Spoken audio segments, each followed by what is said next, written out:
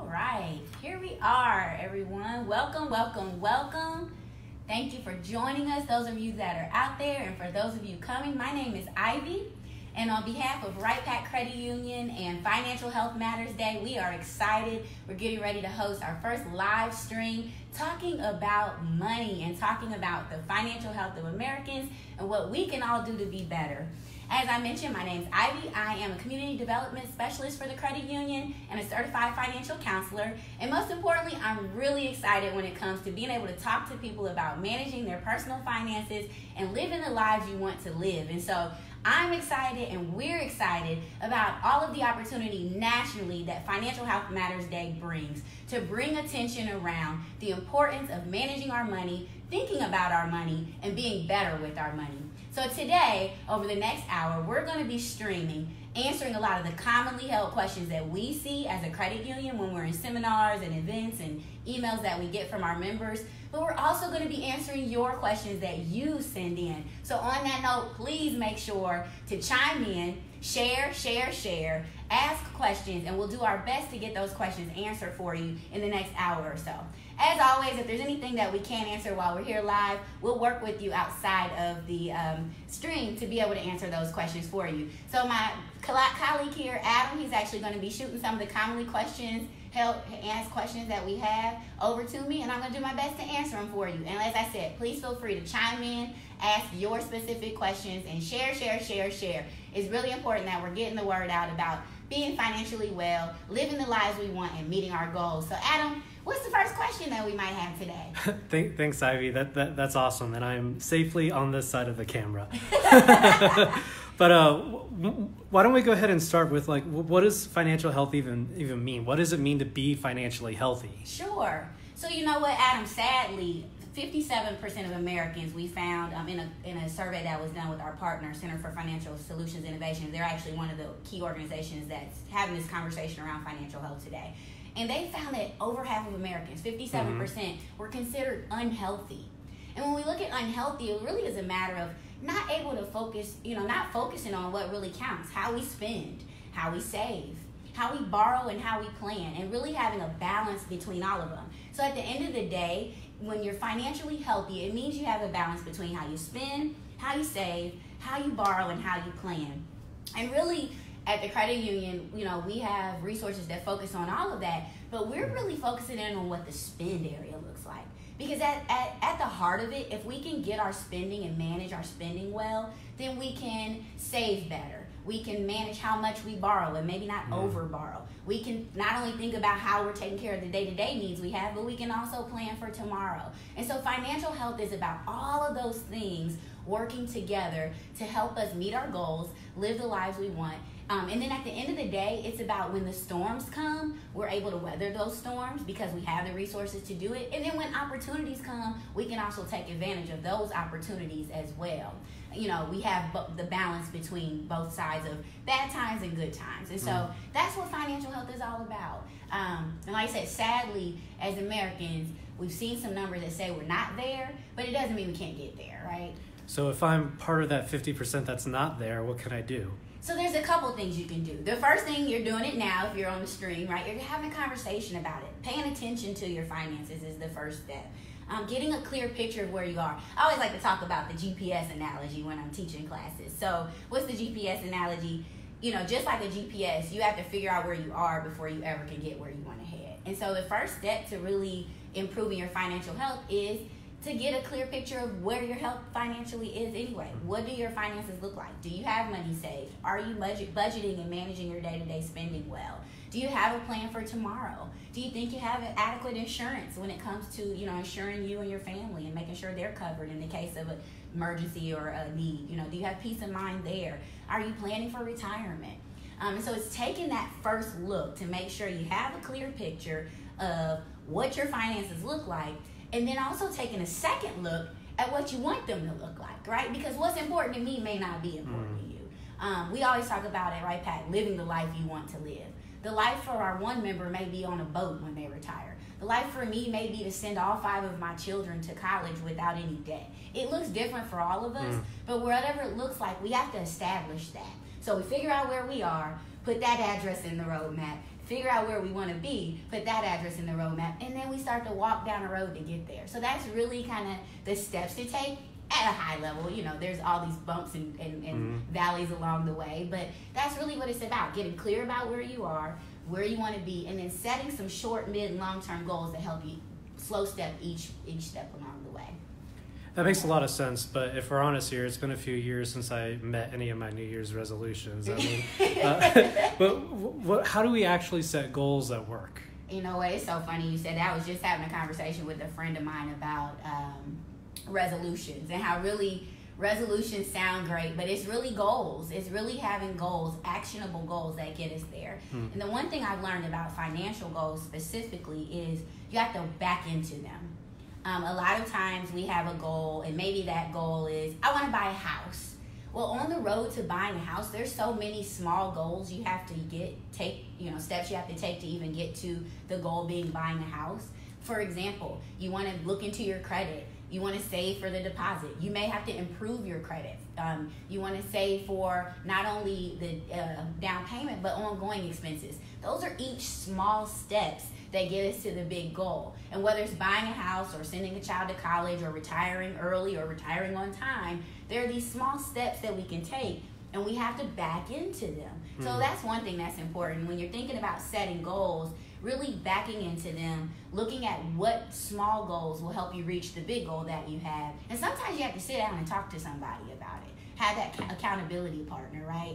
Um, have someone that you can ask questions of. We have that at the credit union actually, where you can sit down and uh, walk through your budget, take a look at what goals you may have, and how you can attain them, and maybe what obstacles you have in front of you to obtaining those things. That's the other key piece, being honest about the obstacles. A lot of times we want the fluffy pie in the sky, but we're not really taking a look at the ingredients that we already have and what we're going to need to get there. So we have to slow step it and back into it.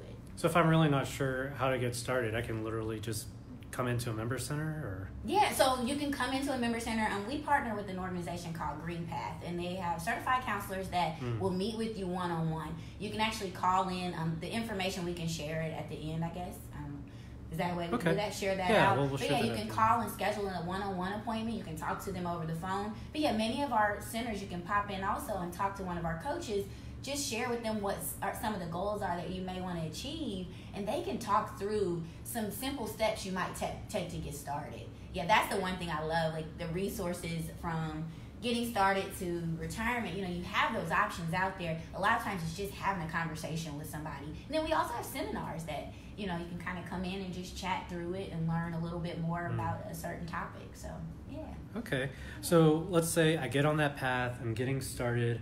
I mean, what are some of those road bumps I have to look out for? What are, what are some of those common mistakes people are making with money? So yeah, so the first common mistake is never getting started. And, you know, it's really kind of about not not starting to have an idea of what you want your finances to look like. You know, you have a job or you don't have a job, where you're you're just kind of going through day to day, but you're not managing it. So that's the first common mistake that we see.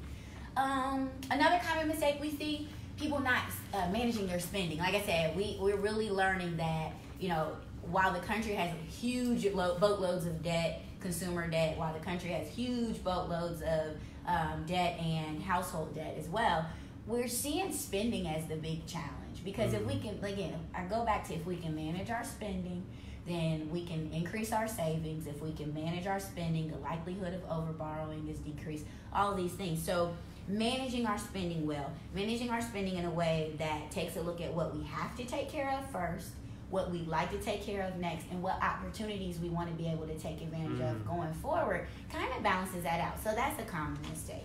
Um, another common mistake, overspending, right? Still along those lines of overspending. There's four areas we tend to overspend in. We tend to overspend in food. We tend to overspend in utilities, still because we don't turn the light off when we leave the room.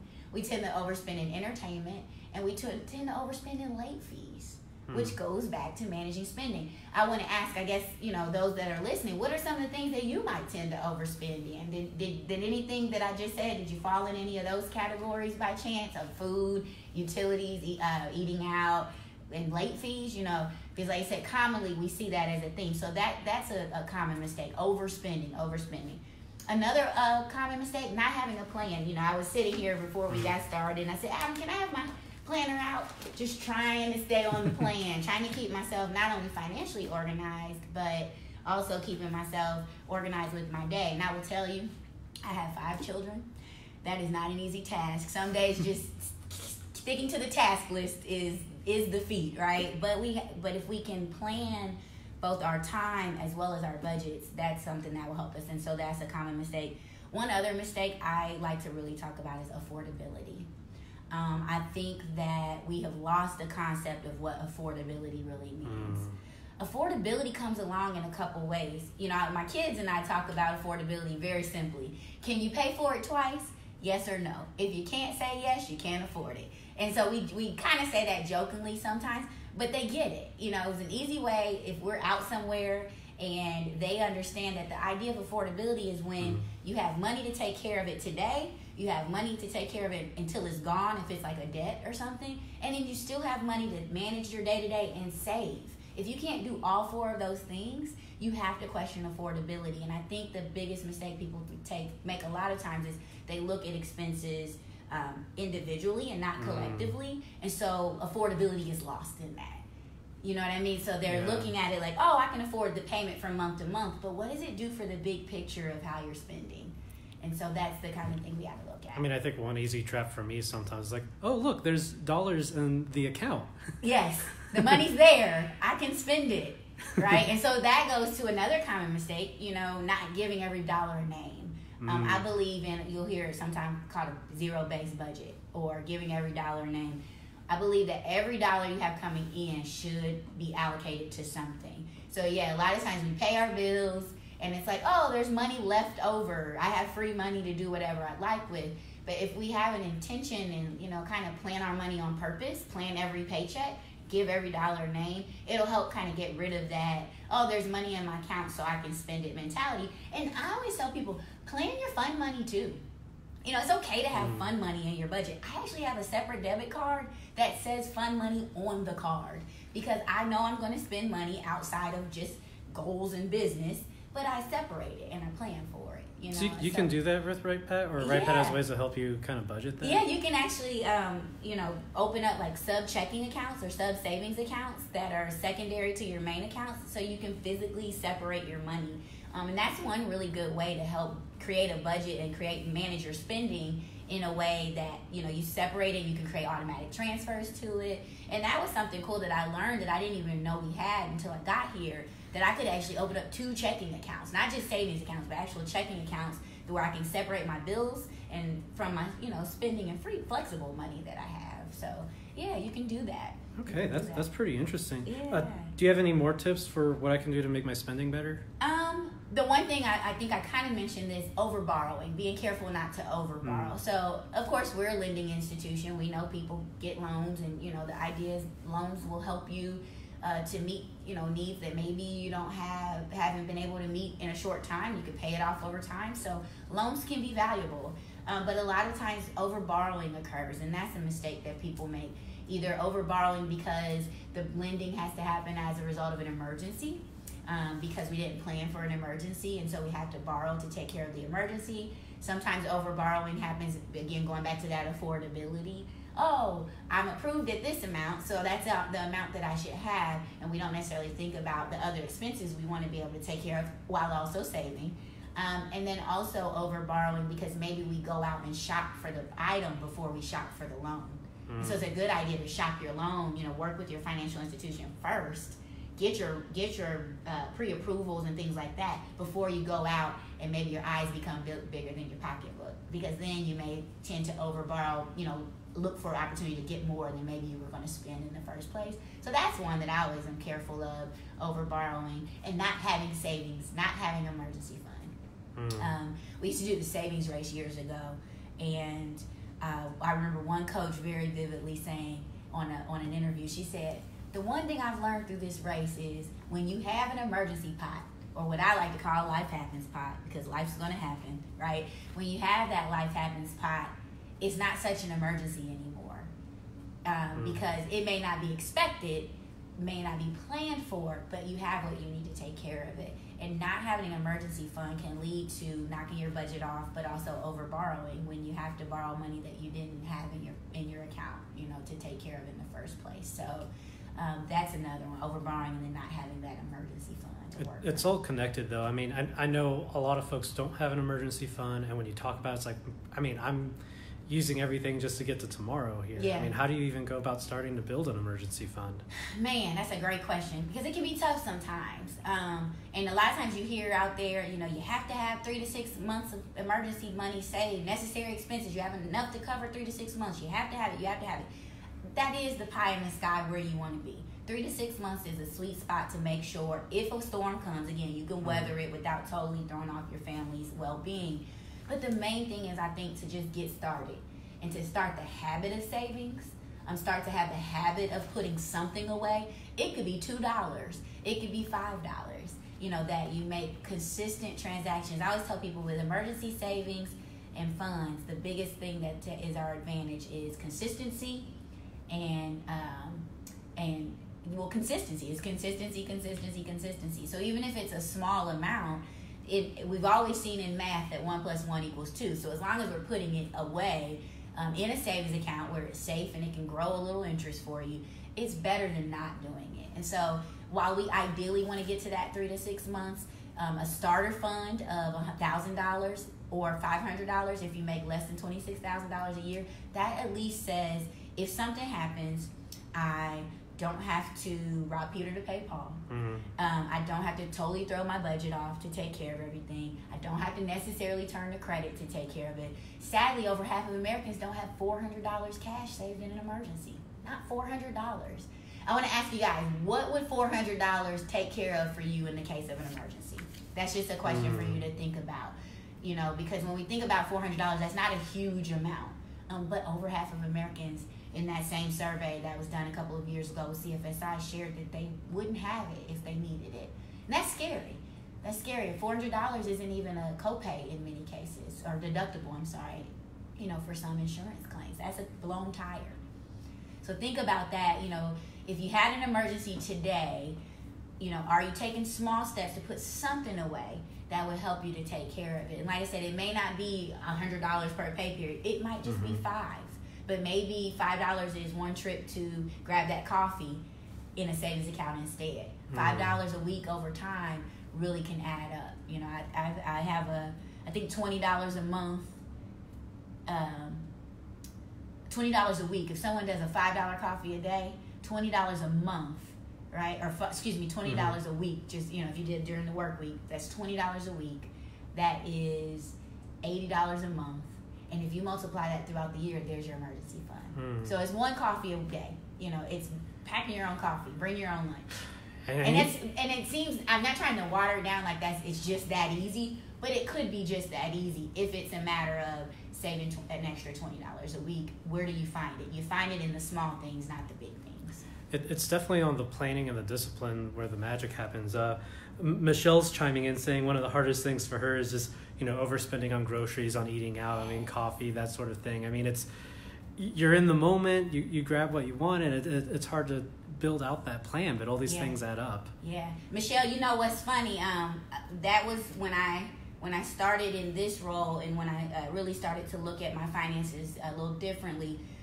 I that was one area that almost made me quit my job and wonder if I was even qualified to have these conversations because I would overspend in the grocery store and actually when I before I worked here I worked near the downtown Dayton area and I think I was keeping some of the Brown Street lo- uh, restaurants open because I would eat out every day um, and I started to set small goals for myself because I, I didn't think that I could just cut back like oh I'm just never gonna eat out so I started cutting down to like eating out twice a week, and I'm down. I allow myself one one time a week to have lunch out because I know the way my schedule is. That's just realistic for me. But that was a big change for me. Um, I also started doing two things when it came to my groceries. I actually started sp- for a long time only going in a grocery store with cash because I would go over my grocery budget on average fifteen or twenty dollars every time I would go in there. And it was funny because then I had to understand the psychology of it. The first few times I went in the grocery store with cash only, I still took my debit card. Just in case. Mm. and then I realized that was counter, you know, productive. So I stopped bringing my debit card. And then I remember the day I went to the grocery store and I actually went to the counter and I had just overspent just a little bit and had to put money back or put a few grocery items back. And I remember the mindset of battling. The people around me are going to think that I don't have enough money to pay for. There's a lot of emotions in There's this. so much emotion, right? So then I had to realize that piece of what was going on with me. And I didn't think that about myself. I was dealing with some status stuff. I knew I could afford it, but I had to get beyond the emotion of it to you've made a conscious choice to reach a certain goal that means this has this spending has to get tightened up and so that was really a game changer for me um, and then I find I got beyond that and I would spend cash. Now a lot of times I actually order my groceries online, Mm. and some people say, "Well, doesn't that cost money to do it?" It does, but what it allows me to do is take my time. I don't impulse shop because I buy what I need. I shop in order. I always buy what I need for meals, what I need for lunches, and then what I need for snacks. And then if there's money left for other stuff, then I will add it. But the nice thing is I can see the amount. The bottom line is as soon as I'm going to be charged it, the most I'm going to be charged. I, you know, if I go over, I can take an item off right there, and it's convenient for me too. But like, it has helped me so much with my grocery budget and that whole mindset of being in the store, putting things back. It's gone now. But I had to get beyond the emotion of it. Like you said, Adam, it was really a moment where I thought about it. It wasn't about the money at all. It was really about the emotion behind and the control of what I wanted to be able to do.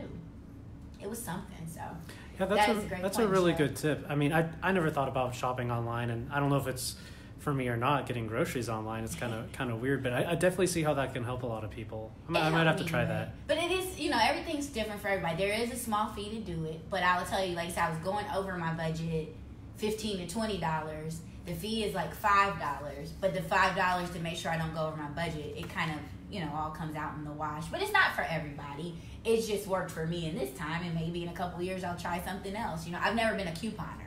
Hmm. That's my like everyone talking. Just use coupons, and I think that's the main tip out of this. You have to use the strategies that work for you, and you have to use the budget tool that works for you. Everything's hmm. different for everyone, right? Some people are paper and shop online people. Some people are paper people. Some people are online digital people. You have to really use what works for you. You know, because there's so much out there. Right, and Yeah. I know part of that equation too. I mean, we're gonna have to talk about this eventually.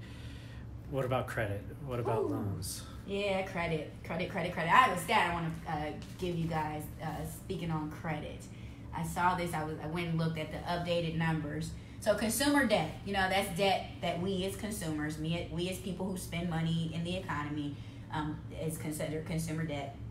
It's extremely high. I actually looked up the number last night. We ended 2018. Household consumer debt was at 13.54 trillion dollars Ooh. collectively we um, it says collectively americans owe 26% of their income to debt so a quarter of your income goes to debt and spend 10% of their individual income on non-mortgage debt so credit cards car loans uh, student loans personal loans so not even your home we're talking about 10% of that is going to debt that's for really disposable items. I mean, student loans, there is a difference between good debt and bad debt. And student Mhm. loans, home loans, business loans, those are considered better debt. But no debt's a good good that you can't afford, right? And so we do. We have to have this conversation. So, like you're saying, I'm sorry, good debt, No, bad okay. debt. That's a little confusing for me too. So, like, so yeah. what's you say like student loans? So, so you're saying like like you're investing in a sense in your future. So yeah, or- so yeah, let's talk about that a little bit. So and that's tough, right? That's very debatable. But there are some things if you looked at what's considered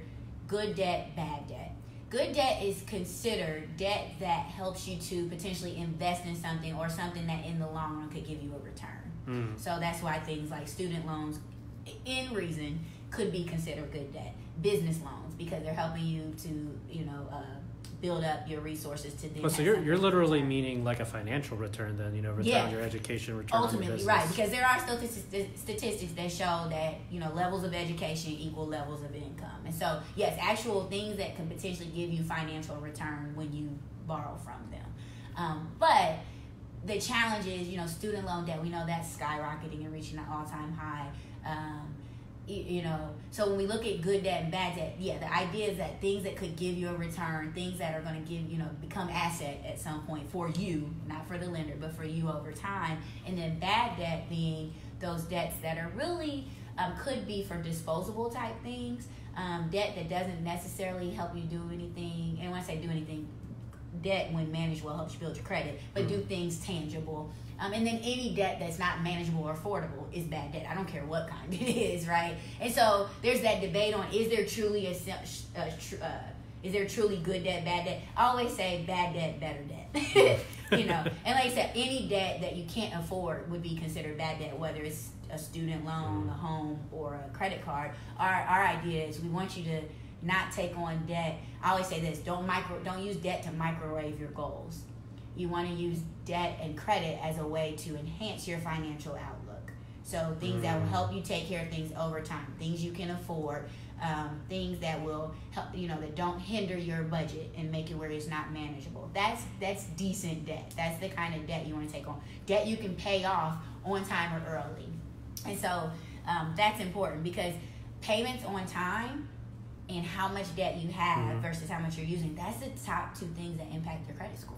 I know credit scores are, I mean, really pretty mysterious to a lot of people. Yeah, let's talk about that a little. Credit scores are really mysterious, even though they're every other minute there's a commercial about them, right? Do you know your score? Do you know your score? And it's because people are trying to have the conversation. So credit scores are really important um, because they do they gauge how you manage your debt ultimately, um, but they provide a formula based, um, some would say objective way of looking at how you manage your finances as a way to determine your risk when you're dealing with whatever organization you're going to get involved in. So, credit is used to look at a couple of things. Not only loans, we, we kind of know that commonly that people you know access their credit for to get loans. But beyond loans, it's it's the loan, but it's also approval and the rate you're going to get on a loan.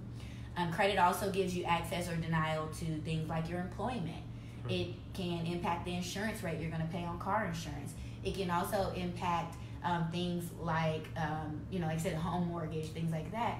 Um, and a lot of times it, it can impact, you know, approval for things like utilities. The thing about credit that we've seen today is in some instances, especially when you look at employment and things like that, it could be the deal breaker. So if you and I are interviewing for a job and aside from you're male and female, all other things were 100% equal and our credit scores were the final straw, your score and my score could be the determining factor. Now that's not a guarantee, but that's one thing that you have to consider. I always tell people, people look at your credit to make decisions about you who may or may not know you. What do you want them to know? And see, that's scary that I can imagine for a lot of people that there's this thing that can have such a big impact on my life and I don't totally understand it. Yeah, yeah. So let's talk a little bit about like kind of the the mysterious formula that makes up credit. Um, so there's two. First, let's talk about this. There's two elements to when we deal with credit. We talk about the credit report and the credit score. And if I had to break it down as simply as possible, let's think about your credit report as your report card, like when you were in grade school. Your report card it had some letter stuff on it, but narrative on how you were performing. Okay. Like likewise, your credit report includes personal and identifying information, financial information, employment information that in essence helps to get an idea of how you perform, right? Mhm. You take that and it's a report. There are three reports Experian, Equifax, and TransUnion. Those are the three main reporting bureaus. And that's the report. So if you think about the report as your report card, the credit score is like the GPA. Hmm. And it's just like a GPA in school, the higher the better. Um, the most commonly used credit score is by the Fair Isaacs Corporation, FICO score. Um, but there are some other scoring models out there, but that's the most commonly used one. And that score um, is a combination of, again, how you pay your bills, you pay on time, the type of debt you have, how long you've had the debt, and how you handle that debt. They have a magical formula that goes into all that, and it outputs a number based on what's on the report. So, like I said, just like a report card and Mhm. GPA, information input, score output. And like I said, the most important thing to know about that is do you pay your bills on time and as you agreed in your terms, at least the minimums, Mhm. um, and then how much are you do you have available to you and how much are you actually using so like in the case of a credit card for example um, if you have a thousand dollar limit on a credit card and you're spending three hundred dollars on it or you you know you charge three hundred dollars on it or maybe you can charge five hundred but you pay it back Mhm. down to three hundred you're using thirty percent of that capacity because you're using three hundred out of a thousand dollars okay people with the best scores maintain either no balance you know they pay their card to use them because you have to have activity because credit history is impacted.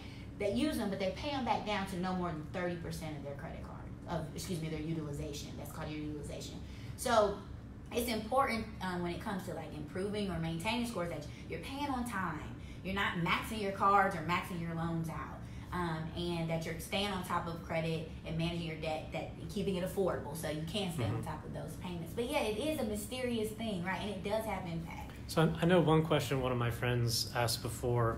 Um, he's he's real nervous about borrowing. He doesn't even have a credit card. He deals mostly in cash. Does he have a credit score? Is it bad? Should he worry about that? Sure. So I will tell you this. Like I said, 35% of your score is your credit, your payment history. So if you don't have a history, there's no there's nothing to calculate that portion of your score. So I don't know if he has if he has no uh, credit, he may not have um, a score or he may not have a good score. So how credit scores work, when you turn 18 and a half, so six months after you turn 18, you are usually assigned a score. Hmm. Um, I always tell students that score is somewhere around C average. Don't know enough about you to give you an A, but it's not fair to just completely fail you, right? Okay. So you come in somewhere around the uh, 500 to 600 range. And what you do from there can either drop that score or grow that score.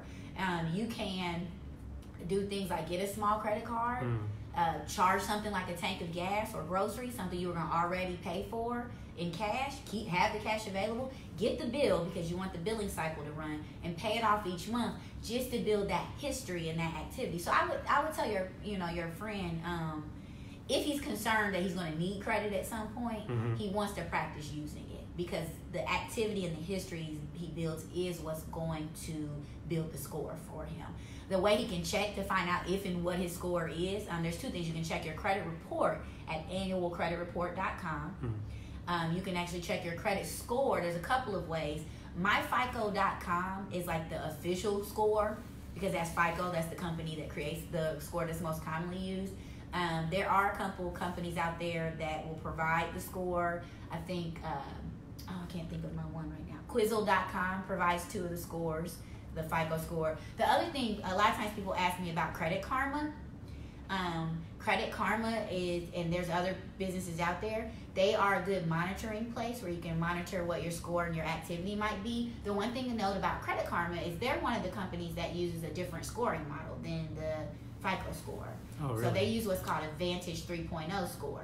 Um, you know, it's not about which one's good or bad. FICO is the more commonly used score. So for monitoring, that's good. But we always tell people keep in mind your uh, Credit Karma score could be different than what we as your financial institution see when you come in to apply for a loan. So they, we just tell people to keep that in mind. But from the standpoint of monitoring your activity, that's another place you can check um, to just get your uh, general idea of activity for. So you don't really just have one credit score then? No, so you actually have three credit scores um, because just, and each score is matched to your credit report. So Experian, TransUnion, and Equifax each have a score based on the information that's reported in and out of your credit reports. Yeah. Okay. So if I am starting to build up my, my credit, um, what are some tips for just, you know, maintaining that, paying off my debts? Sure. So like I said, um, the main thing is um, if you're trying to build credit, is to start small. Um, I always tell people practice first, right? Have a budget um, first so you know how much money you have available to even allocate toward monthly uh, credit or debt payments. Start small with something like a secure or first time user credit cards. Those are credit cards that usually come at a lower balance. Um, and the secure card, you actually will put some cash toward it in case you don't pay it on time. But it's a way to build credit because one thing we like to tell new borrowers or new, you know, new money managers, your debit card and your checking account isn't doing anything for your credit, even though your debit card has mm. a little Visa or Master, you know, a little emblem on it. Those aren't credit builders. Utility bills are not credit builders today. They we don't know where they're headed in the future, but today those things aren't credit builders. They can only be credit uh, hurters if you do something wrong with them. Mm. But right now they're not credit builders, so you need something like a credit card. Maybe you co your parents co-sign with you on an auto loan or a person or a personal loan, which is a loan that has you know so many payments over a period of time and is gone. Those are ways to build healthy credit activity. Um, so you can do that. And if you have a small balance credit card and you've been paying on time and doing well with it over time, you could inc- request an increase on it. Don't use more, but you could inc- request an increase because that shows that capacity increase. So Mm-hmm. now, if I'm using 100 out of 500 dollars, you know that's what 25, 20 percent of my capacity. If now I increase, get an increase to a thousand dollar limit, now my I'm only using 10 percent of that capacity. And that's that, that utilization that's that talking about? utilization rate that we're talking about. That's another way to do it. Um, now, some entities like us we aren't going to just give you an increase without checking your score. You have to apply for that. Other places will automatically give you an increase. Um, we're careful about that because again, that goes into that whole not giving you debt that you can or can't. So you could get yourself in trouble even if they approve you for it. Yeah, because you if you use it and you really couldn't afford to, that could be a challenge. But if you know how to manage it, if you've practiced managing it, that's one way. Um, so those are a couple ways to build your credit. Um, the one thing I always tell people about student loans because a lot of times students will say, "Well, I'm building my credit because I have a student loan," and I'll ask them like, "Is it in deferment?" Which means you're not making active payments on it at that time. And there's, you know, if they say yes, your student loan in deferment doesn't hurt you or help you because it again goes back to payment history. So any loan in deferment doesn't have payment history, and so it's not necessarily hurting you because it's not showing up as you know a pain point that you're not paying it. It's not negative, but you're not also not showing any activity. So that's something to keep in mind. And we and I actually think we can loop back around to student loans here uh, shortly. If you want to pay off debt, so that was building credit. Or you want to improve your credit by paying off debt. There's a couple things you can do. Um, first thing is to be clear about what debt you have. Um, you, again, you can check annualcreditreport.com. That is the federally hosted and approved website for pulling your credit report. Figure out how much you owe, who you owe, uh, how much interest you're paying for what you owe, and what your minimum balances are that are due. And I actually encourage you to write that down. Do what I call debt inventory. Who do I owe? Meaning what company? How much do I owe them? What's the minimum balance due every month? And how much interest am I paying for, for that loan? After you know that, with your budget, prioritize repayment and put any extra money you have on one balance, on one loan. Pay the minimum on all the rest. Now, I recommend what's called the snowball method. Hmm.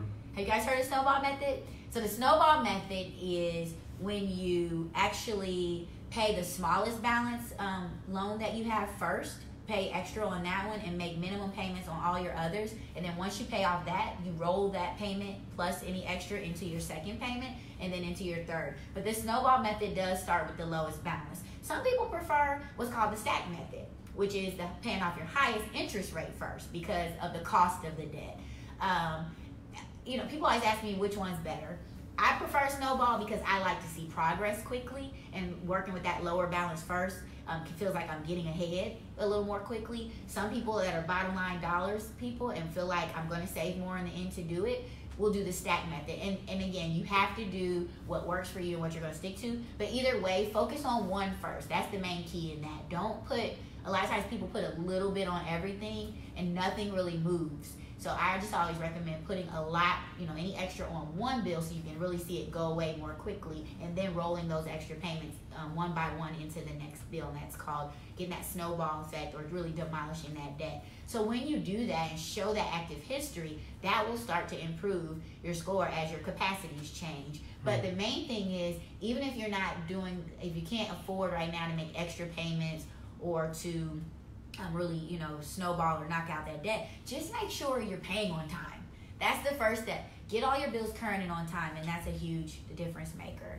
Hey guys, I've been talking a lot, and I want to remind you all to continue to chime in. Uh, hopefully, you're checking it, checking out what we're talking about today. But feel free to ask your questions as well. We're not only here to uh, share what we've heard um, outside of here, but we also want to chat with you all and hear from you as well. So let me know what you're thinking out there and what questions you might have. Okay. So yeah, so that's that's debt. Um, there's you know debt is uh, its own world. There's so many different things that you can do. The main thing too is get help if you need it. Um, I, I can't stress that enough. Uh, like I said, I mentioned earlier in the stream, we do have resources here at the credit union for people that can sit down with you one on one and actually walk through uh, budget. Um, they can do a debt management plan with you. They can give you tips on things to improve your credit. You know, maybe what solutions and, and products might help you build your credit. Um, and so I just encourage people to do that. Come to your institu- financial institution first. Don't go to the stores. because Mhm. they're in the business of making money first. Um, and then they just happen to have products, you know, credit cards and things like that to help you with that. Financial institutions, well, some are in the bit. We all have to live, we all, but we're in the business of helping you reach your goals. And so our partners are really committed to that. That's just my little soapbox. They really are committed to helping you figure out the best option. So you may come in and tell us you want a credit card because you want to build your credit. They may see your portfolio or your, you know, your credit report and decide and make a recommendation that there's another option or a better way for you to do it. So just keep that in mind. Even if you're thinking about like consolidating debt, having that goal in mind when you come in, we can help you walk through that process. Yeah, that's really helpful. We're, we're getting a few comments, people just saying how much they appreciate this information. Oh, awesome, awesome. We'll So, uh, did, did you want to circle back to student loans again? Because I know for a lot of folks getting started, that that's kind of top of mind. Yeah, yeah, yeah. So student loans. Oh man, um, student loans are a monster. But again, student loans are viewed as loans that are there to help us to achieve a goal. The issue with student loans is that a lot of times the overborrowing happens, um, and whether that's because it's just the cost of you know college is what it is, and I have to pay. You know that's what I have to do to take care of it. So first, I want to talk about um, how to make sure that if you're going to get a student loan, that you're getting the best deal when you do, or you're you know you're doing the best thing for yourself. We always take with our student loan partner what's called the free cheap gap approach. Mhm. So if you need to get a student loan before you ever go out and get a uh, like a private loan, you want to do one thing. You want to exhaust your free options.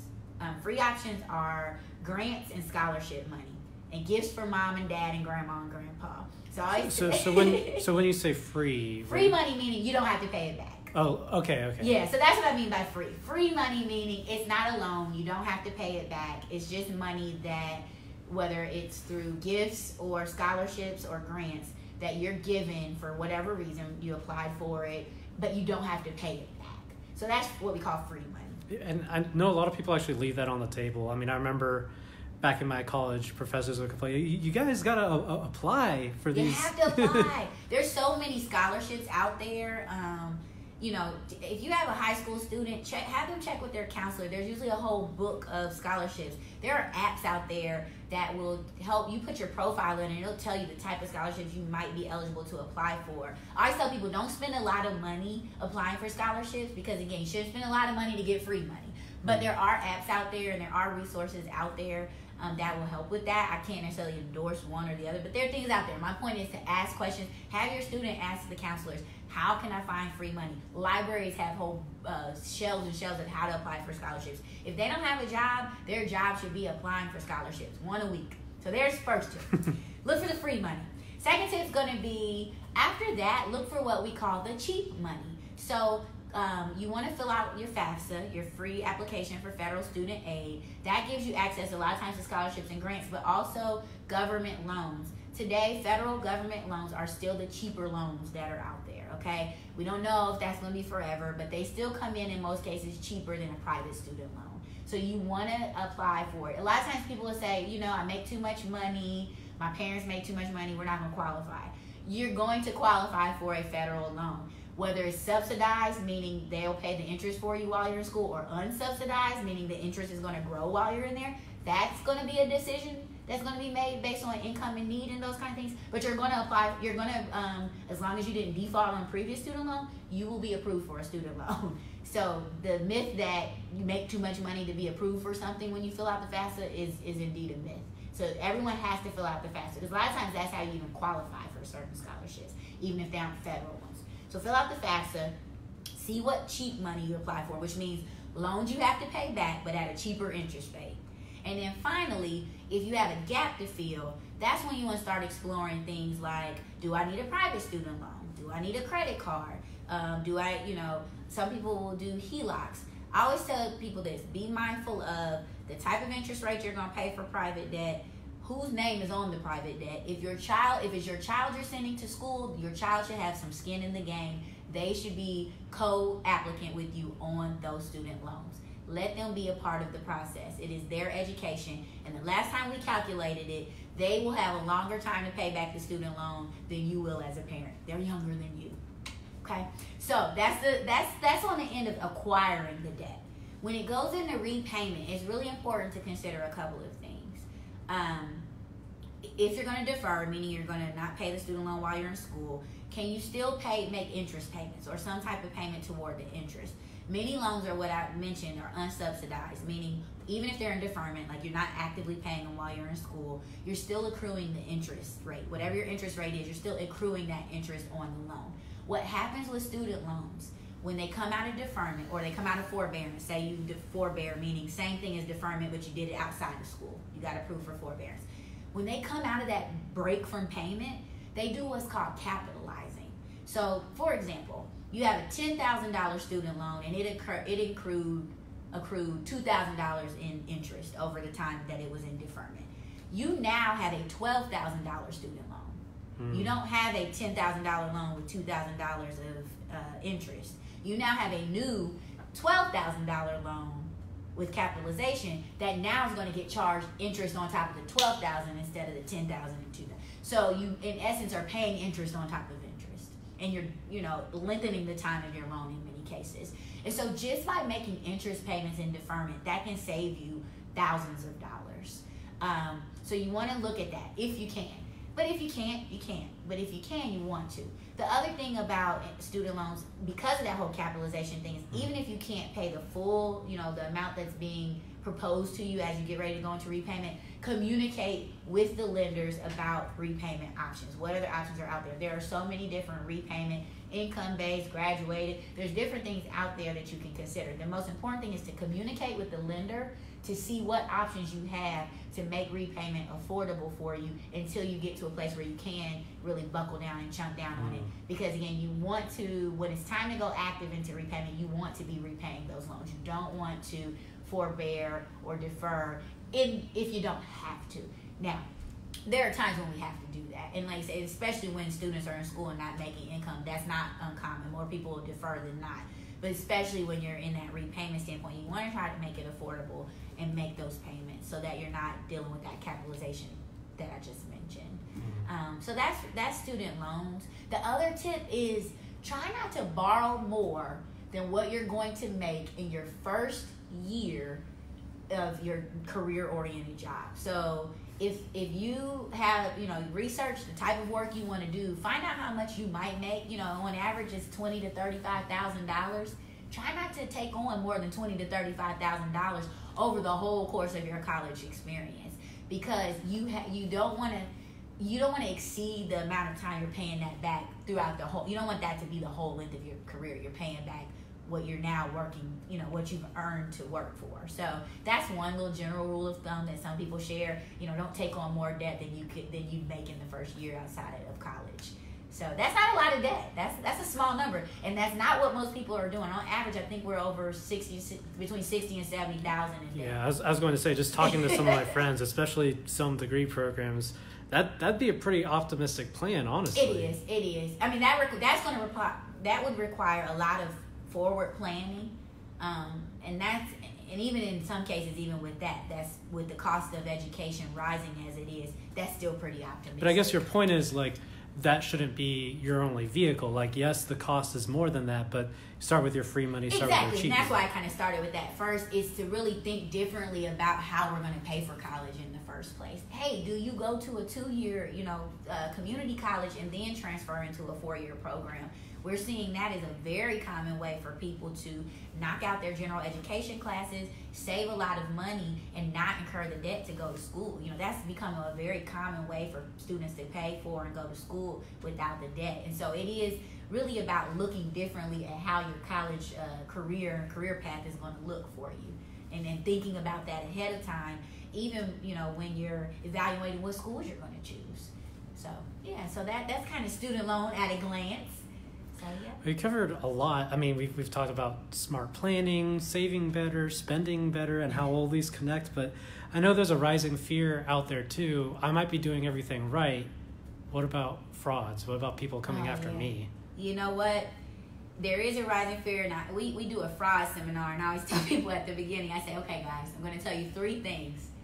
Big Brother is watching, Big Brother knows, but that doesn't mean you have to walk in fear. The reality is, I think the blessing and curse of technology is upon us. You know, we are in a wonderful technological age, things are moving rapidly.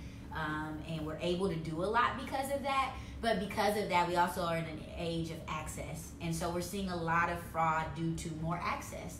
We're also seeing a lot of fraud because of the fast pace that people are moving in. I go back to my microwave. Everybody's in a microwave mentality. Everything's Mm. quick, fast. Now I want it in a hurry. I don't want to think about it. I don't really want to work for it.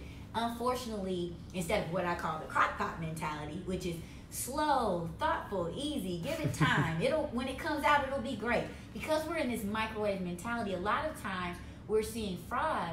Um, not because it's going to happen, but we're missing it because we're not paying attention to it.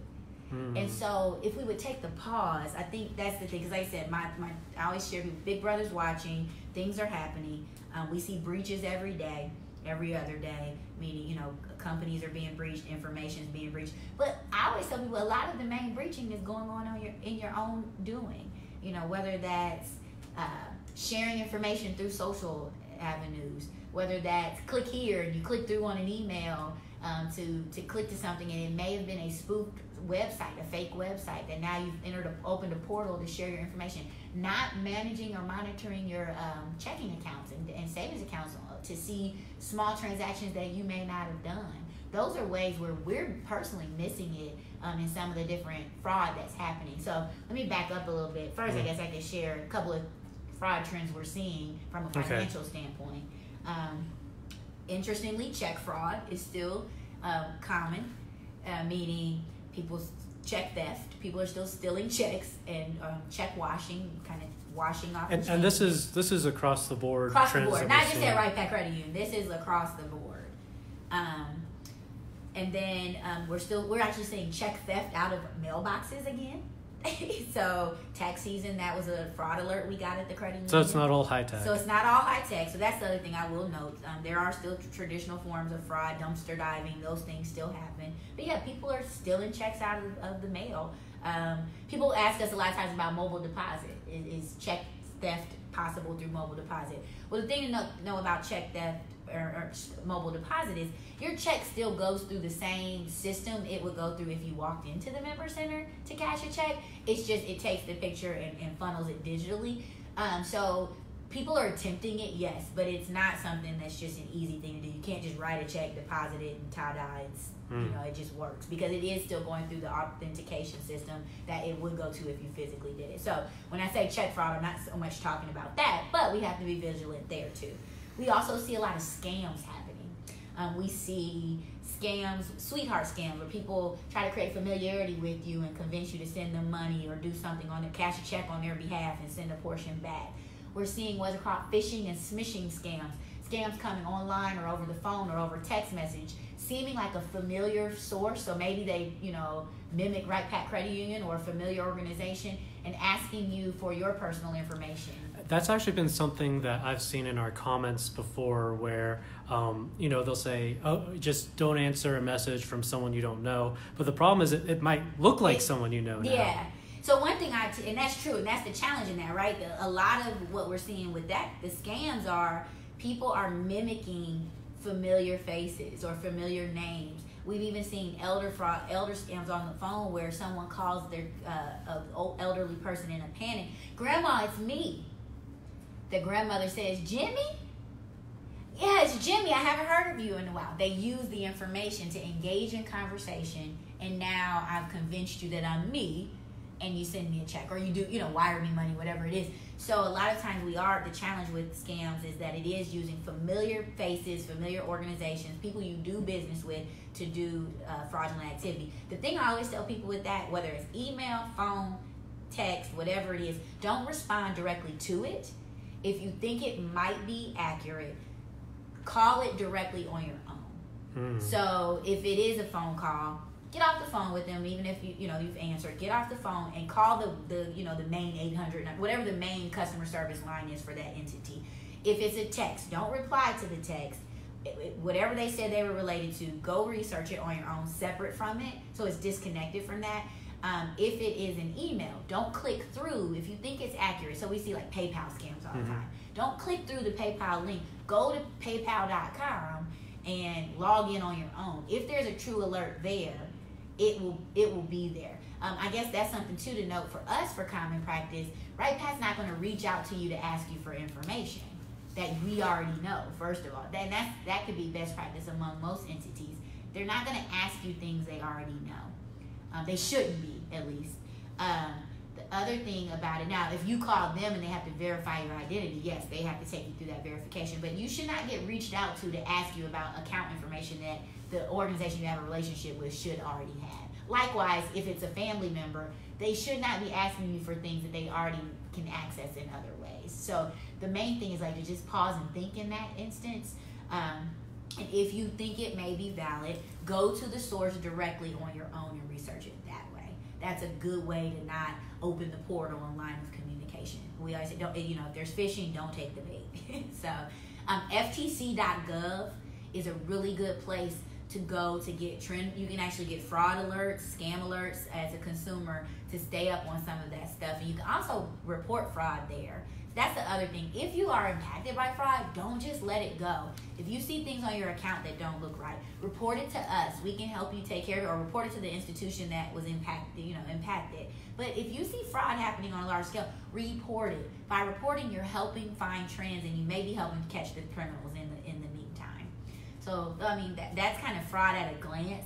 We are seeing several things happen. Like I said, things are going to probably continue to happen just because we're in this technological quick world. We have that access, which is good, but we have to be vigilant in that access. So just be vigilant, monitor your accounts, check your credit report, report activities, report suspicious activity, and don't take the bait when you're getting those calls. Research it on your own.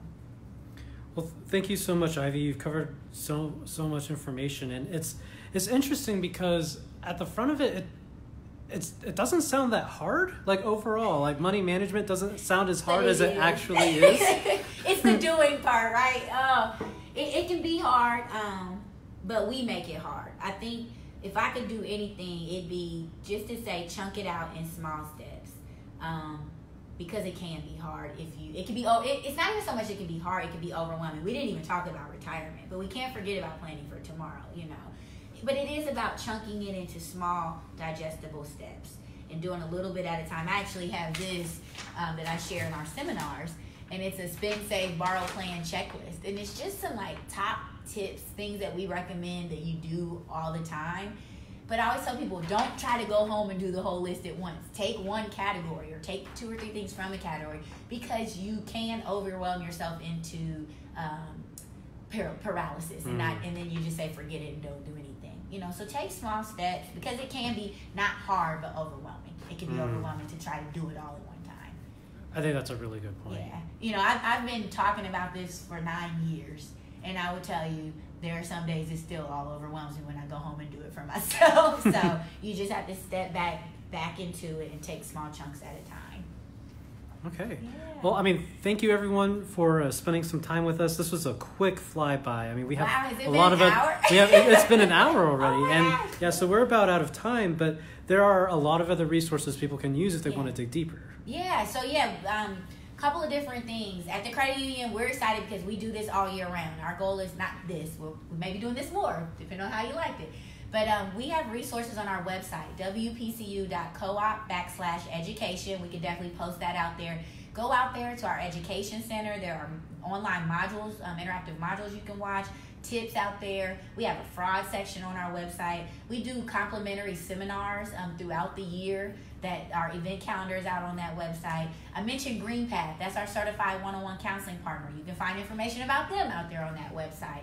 Um, and then you know, there are so many resources out there outside of the credit union. If you're a credit union member, you have a tool online on once you log into online banking, online money management, where you can create budgets, track your spending, review your transactions, create savings goals, and actually create automatic transactions. All of that's out there. Um, so just take some time and, and explore is my main thing. Um, and again, chunk a little bit at a time so you don't uh, go into paralysis when you do it. But yeah, those things are out there. And then we're here as a resource to help and when it comes to the tools and products that might be able to guide you on your journey. All right. Yeah. Well, well, thank you again. If, if you guys have questions, feel free to post them in the comments below or to reach out to us uh, through our, our phone line or through the website. Yeah. Thanks, guys. This was great. Have a good afternoon.